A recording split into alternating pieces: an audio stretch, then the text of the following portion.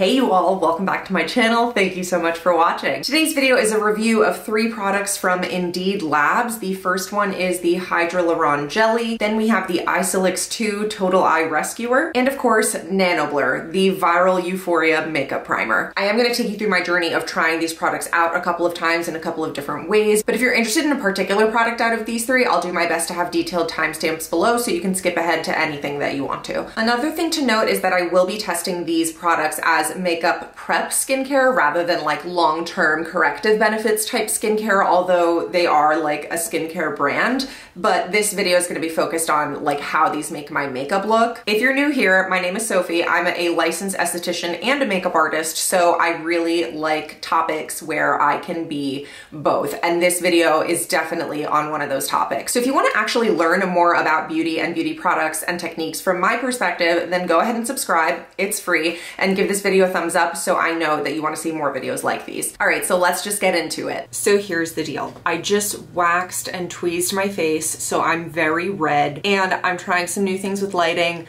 Hopefully it doesn't mess with anything, but my guess is it won't, it, like it couldn't possibly be as shitty as my lighting usually is. So anyways, let's get into it. So the first product I'm going to try on and review from Indeed Labs is the Hydraluron Moisture Jelly featuring hyaluronic acid and Patch 2O. What is Patch 2O? So this is free from fragrances, colorants, denatured alcohol, and it's vegan. It says free from vegan, but I think they just mean vegan. Let's read the claims on the back. Hydraluron Moisture Jelly uses a combination of five scientifically proven ingredients to help provide instant and sustained moisture to the skin. Instant, that is the key word for me. I am mainly trying these products as prep products for makeup application. But if it has long-term skincare benefits, then that's also fantastic. Anyways, filled with high molecular weight hyaluronic acid and Patch 2O, this refreshing jelly helps to lock in moisture and prevent moisture evaporation, leaving skin soft, supple, and glowing. Okay, I feel like this brand has a good grasp on how we categorize different types of skincare products. Like I love that this product is a moisturizer, so it's designed to be a finishing step in your routine. So the high molecular weight in the hyaluronic acid in this is going to not penetrate as deep as something with a low molecular weight. So for treatment purposes, yeah, a serum with a lower molecular weight that penetrates into the skin could be more ideal for like correcting dehydration, but for preventing dehydration and giving your skin that instant glow, a high molecular weight that sits on top of the skin that doesn't absorb as deeply and that locks in moisture all day, that is what we want for like a priming moisturizer. So I love that and I feel like me and this brand are just on the same page. Like, I don't know. Okay, so let's get to applying it. Directions. Apply a pea-sized amount, only a pea-sized, to a cleansed face in the AM and PM. Use daily and apply after hydraluron, hydraluron moisture serum for optimal results. Um, I don't have that serum. I think serums are more like for corrective benefits and not necessarily for like makeup prep, so I didn't go that route. This packaging is so cool like the fact that it's clear, I mean, I don't think there's anything in here that would be like destabilized by light or anything, but it's really, really pretty. And I like that it has this little um, pop out of the top situation. Okay, let's see if we can get a little poppy action. Oh, did it come out? No. Oh, Yay! Okay, and this looks like it dispensed a pea-sized amount. Um, some people's faces are bigger, some people's faces are smaller, so you may find that you need a little bit more or a little bit less, but I do really like that pumping mechanism for still having the luxury feeling of a jar um, without compromising the stability and sanitation of the product. I expected it to be a little bit more lightweight because we have this hyaluronic acid moisturizer from Dermalogica called Calm Water Gel and that one um, is a water gel, whereas this is kind of a sticky gel. It does not contain oil or anything like that, um, but it is really sticky. I would not like this as my moisturizer, but do I feel really good about putting makeup on top of this? Yes. A sticky base is always good for makeup and that's definitely something that like my regular skincare routine lacks is like priming for makeup because to be honest, I just don't care anymore. Like I just want to take the best care of my skin that I can usually. But, but you know, as a makeup artist and as somebody who is getting married this year, um, I'm really excited to kind of switch gears. All right, let's zoom in and see what's going on. I have a little bit of period skin going on and I did just tweeze the crap out of my face. So um, don't mind the redness. I wouldn't say it helped to take down redness at all. And I don't feel like particularly dewy,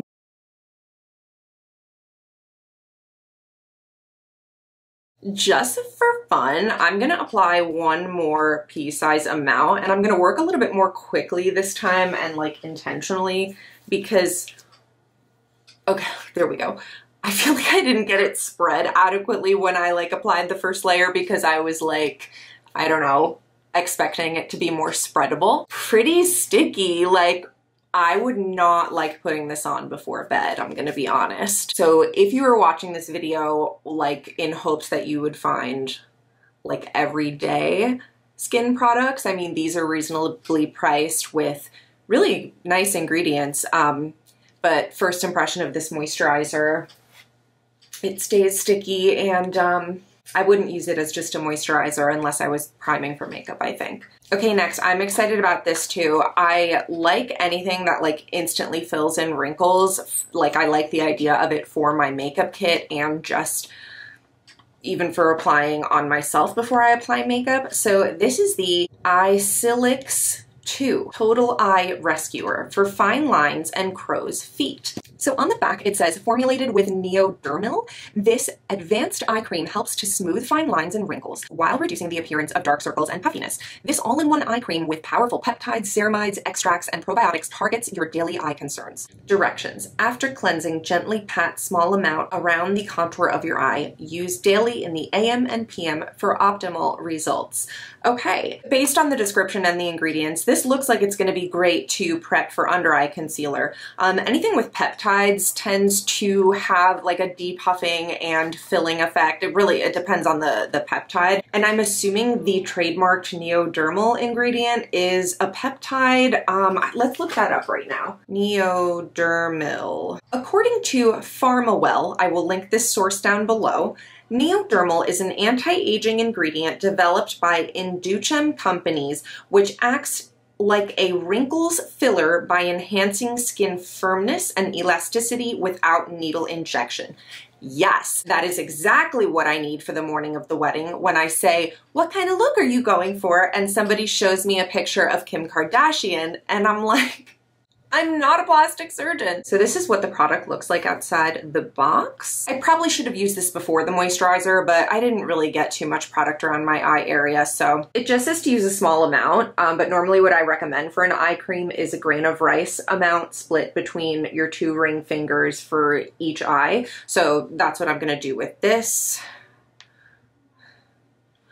and using my ring finger and gentle tapping motions. Also, I wonder if this would work around the lips for like a more mature client or a smoker. So normally I don't get this close to my lash line with my eye cream, but just trying to see if that gives me like a more immediate effect. Let me zoom you in.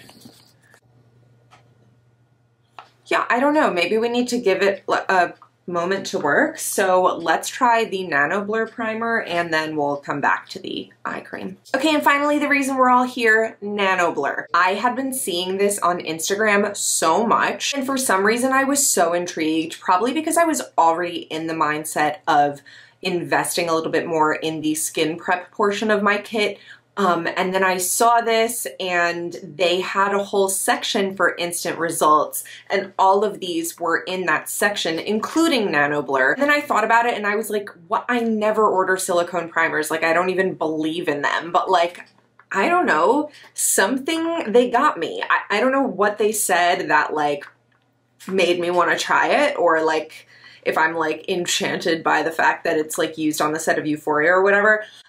I don't know what made me buy this, but here we are and we're trying it even though I hate silicone primers and like was so loyal to the Tarte one for so long, but like lately, I don't know. Anyway, let's read what's on the box. Nano Blur Skin Blurring Cream. Oh, that's the other thing. It was a cream. That intrigued me. For all skin types, featuring Nano Optic Prism Complex. Okay, and that, I remember now reading that. That also sounds really like I, I, mm, you know, I want my skin to be a prism. On the back of the box, it says Nano Blur, developed to provide high definition looking skin. This unique skin perfecting finishing cream uses light diffusing technology to create flawless skin anywhere, anytime. It's that simple. Helps to correct the appearance of skin aging, including the look of fine lines, wrinkles, and crow's feet targets and visibly improves the look of pores while reducing shine. Let's just try it. Maybe I, I, I don't know, I might, I might be converted today. I might like, become a primer user. Will this primer make me a believer? Also, I love the packaging. I love like clean with pops of color. That's kind of like uh, very modern to me and an inspiration behind how I decorated my studio as well. Directions. For best results, follow these application methods. Oh, okay, this I also really wanted to test. So it says without makeup, apply over moisturized skin, which we have, um, and then with makeup, pat gently over liquid foundation or under pressed or loose powder. So basically you can use this after your liquid foundation and then set the whole thing with powder or not. And like, apparently it's this whole thing setting powder is not used on Euphoria. And I think most makeup artists can agree that like setting powder is just like a necessary evil. But today we are gonna find out if it is still necessary in today's day and age when we have technology. Let's just get some on the back of my hand. This is probably too much, but I really want to see and show you all what it looks like. So it very much looks like a combination between like a dimethicone silicone primer and some sort of cream. It's kind of like pudding. It feels like some sort of smoothing dimethicone thing without having a powdery finish. And a lot of those either have a powdery finish or they stay like super slick on the skin and cause your makeup to slide off. But like the Tarte one that I like has a really powdery finish. So I I try not to use it on dry skin. It's really good for filling in pores, but like when you have enlarged pores on dry skin, it doesn't always work the best. So this does have a touch of like surface moisture that it's leaving behind. Okay, I'm really excited to try this. Okay, let's actually put it on my face this time. Just taking a small amount and I'm gonna start in the center of my face.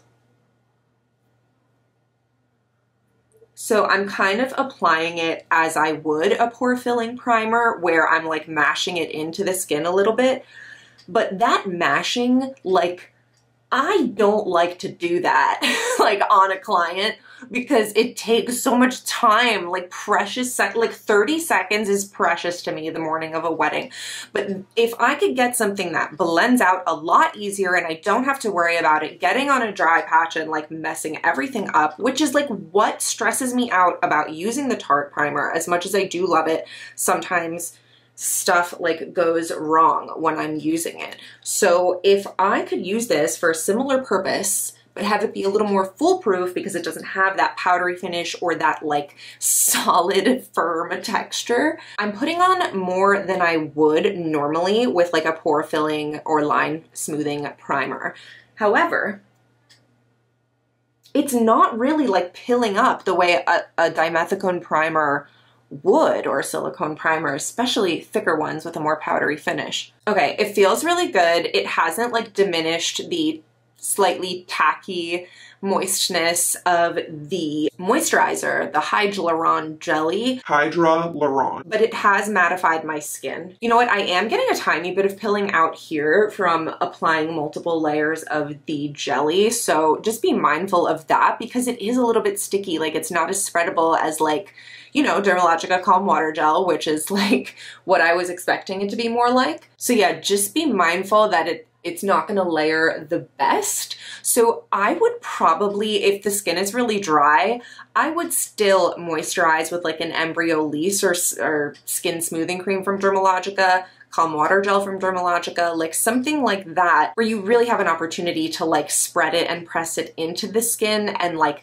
really deliver that like hydration with your hands before it starts to pill up. So yeah, I would definitely still, if somebody like needs moisturizer, if they come in and have like perfectly smooth, freshly moisturized skin, I'm not gonna like wipe their whole face off and just put on more moisturizer. Like, no, they just did their skincare routine and like came downstairs and now they're getting their makeup done.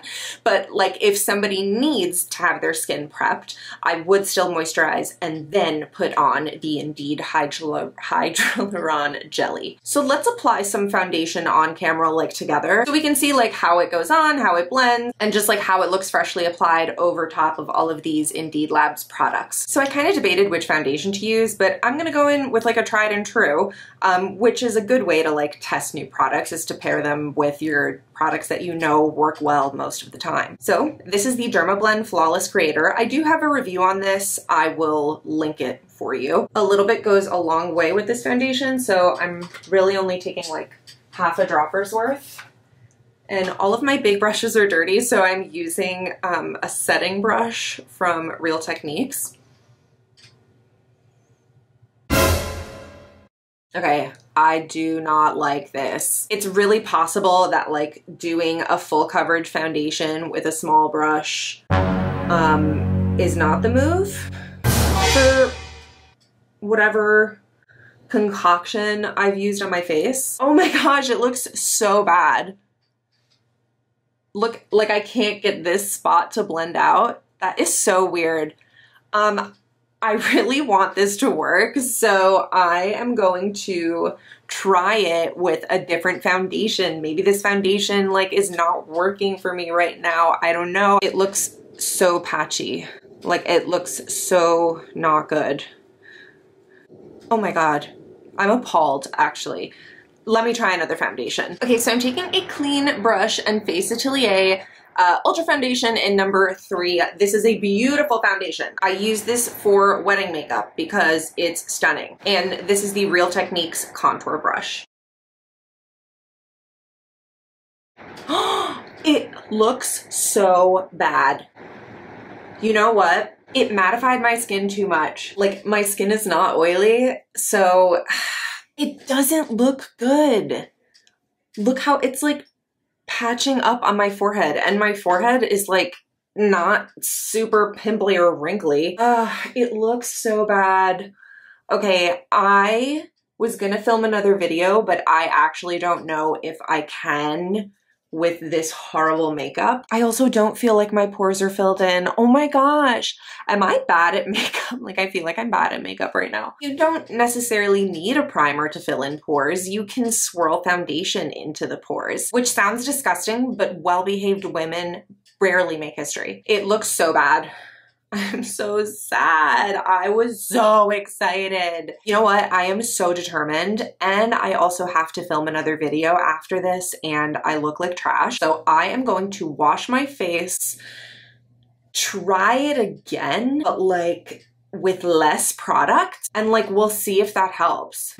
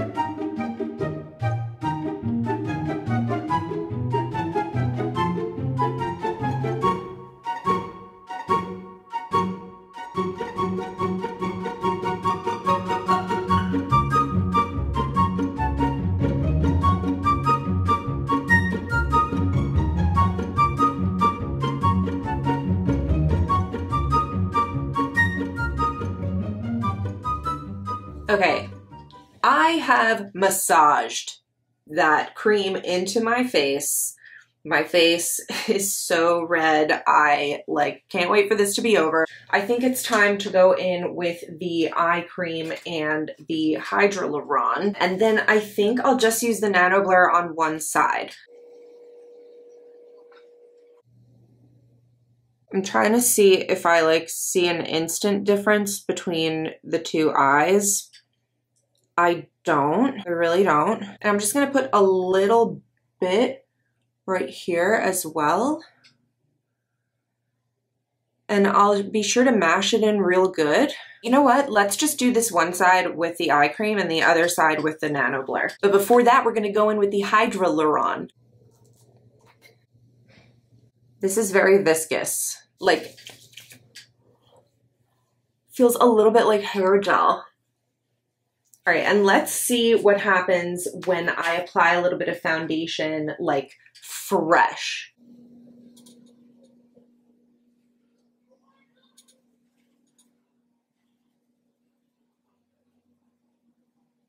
That is so much better. Okay, I feel so much better, y'all. This, this is actually nice. Okay, that looks fabulous. I actually really like it. And I am not one to fudge the truth when it comes to this stuff because I actually work on clients and like you can exaggerate on social media, but you can't exaggerate in real life. So anything that I give a good review has the potential to go in my kit. So that's what I'm always thinking when I'm reviewing makeup. I need makeup to work. Like I literally need makeup to work, you know? What happened before was like such a letdown. Okay, here's what we're gonna do. I'm gonna put a really small amount um, in like my T-zone area on this side of my face. And then I'm gonna try a little bit of it over the foundation on this side and we'll see if I like it better as a finishing cream rather than a priming cream. Okay, can you tell I'm traumatized? This is the amount I'm using. I am treating this like the problematic silicone primer that it is. It could work if I don't treat it like a lotion. If I treat it like spackle, just filling in some of my forehead lines. I have not been doing new face. I'm embarrassed. A little bit on my chin and in my nasolabial fold. Let me get a clean makeup brush. I'm using more padding motions as to not like lift or disturb the primer. And then here where I didn't apply the Nano Blur, I can uh, be a little bit more free and effleurage with my strokes. Okay, so it I just tried swiping on my forehead and that did kind of like remove and like patch off the foundation. Um, and I did put Nano Blur on this side. So uh, stippling padding is the way to go with the nano blur. If you are blending foundation on top of it, you have to use a padding motion. It patched off right here and I'm having trouble blending over that spot and making it seamless again. Okay, both sides look good. This side is not too flat, but it's definitely more matte than this side. I think I like everything. It's interesting. So on this side, I put the eye cream on my nasolabial fold and um, this side actually looks wrinklier than this side to me. Uh, and on this side, I put Nano Blur. But I put Nano Blur on my like forehead wrinkles and I don't think it helped in that instance. So a lot of what's happening is like not adding up to me. I'm gonna be a little naughty and take some of the Dermablend foundation, which is full coverage, and see if I can like spot cover because it's pretty close to um, the Face Atelier number three. Okay, so let's try and cover this area.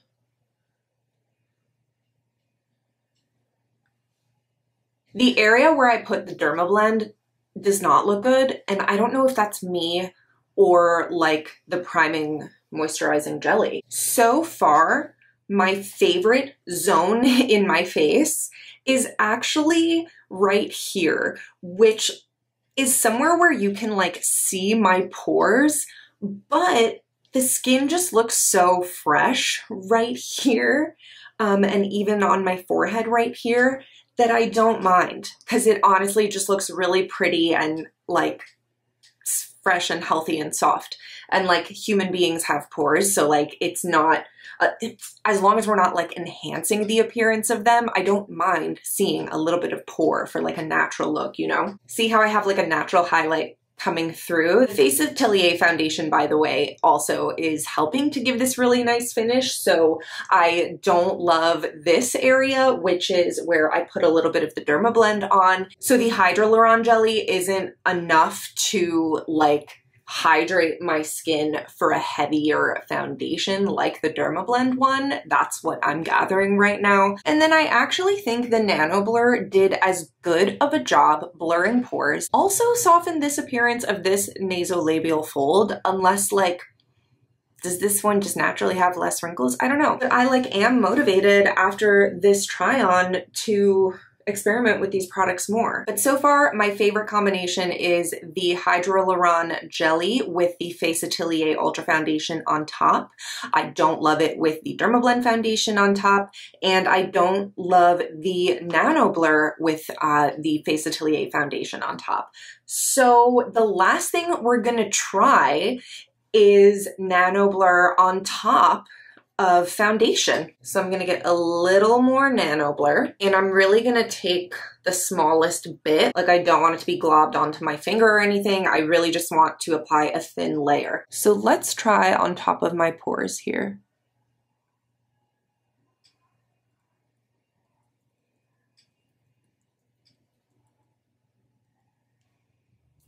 No, no, that did not work. Let's try on top of my forehead wrinkles. Again no it, it just like enhances my pores in like a not cute way okay last thing let's try over this nasolabial fold no, it ended up picking up the foundation actually. This is too finicky. I'm sorry. Like, this is not going to replace setting powder. Like, I can put setting powder on top of foundation and make it look good. Um, without having to try too hard, you know? You know, you press, sweep, buff, do what you gotta do, setting spray, do a little sponging. Like you make it work with the setting powder and it ends up looking good. Like, but this just like kind of ruined my foundation. Okay, the stars on Euphoria must have like perfect but also oily skin. That is my conclusion here with the Nano Blur. And I don't think the eye cream really did anything, um, but let's see if I notice a difference with my concealer on. So I'm going to finish my makeup and come right back.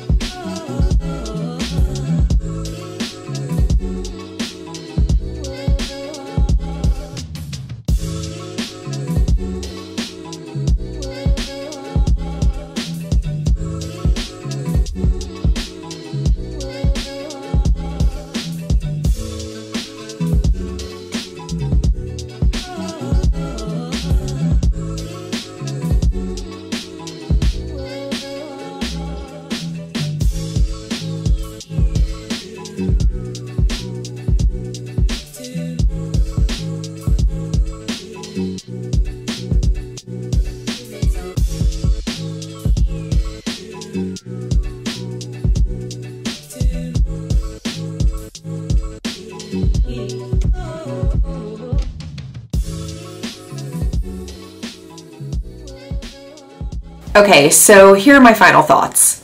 overall, I'm a little disappointed. I don't think that my under eyes are doing better with that eye cream. If anything, they might be doing a little bit worse. But I do weirdly think it helped with this nasolabial fold on this side. I don't know. Now that my makeup is all done and I did put concealer over the Nano Blur on this side, which originally I had just put Nano Blur over my makeup, um, both sides look really similar now. So I think that means that I like Nano Blur for underneath makeup. I still don't love what it did. Yeah, I really don't like what it did to my forehead on this side. I think it just looks um, kind of like patchy and like you can see my pores. Like it, it just did like the opposite of what it was supposed to do. You can tell that like the makeup is kind of gripping on there. Like I can feel it. It doesn't look like there's a layer of it on top of my face that's gonna like slide around everywhere.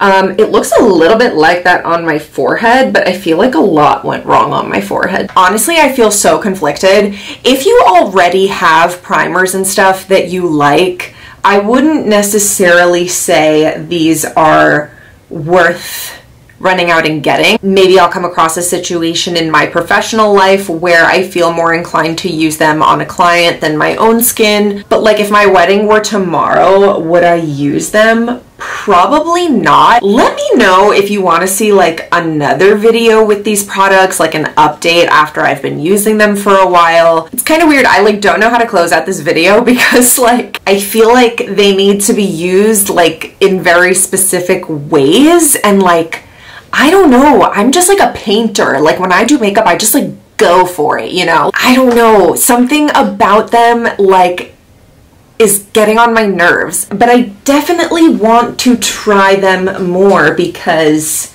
I want to be a prep queen. Hey you all, so quick update before I sign off this video. I tried the products again with a more natural foundation, which is the Revlon Color Stay. Um, I used the one for combination oily skin, so it's not going to be as dewy as a dry skin foundation. However, with the jelly underneath and with the Danessa Myricks Vision Flush over top as my blush, which is a very dewy product, I should have some glow happening and I just don't. I have a little bit up here because I put the Tarte Shape Tape Glow Wand and some glitter. But if you look in here, my skin looks pretty dry, especially right here. And that's not like super normal for me like it happens but I would expect that like if I combine a natural finish foundation with a glowy primer and a glowy blush that it should be a little more glowy. Now on my forehead, I didn't use the Hydraluron Jelly. I just used foundation and I was actually wearing makeup on my forehead all day. So when I got home, I tried to put the Nano Blur on top and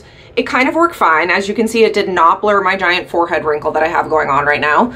Um, it kind of mattified shine around my eyebrows, but not like that much. Like, and it didn't patch up as much as it did with the Dermablend foundation.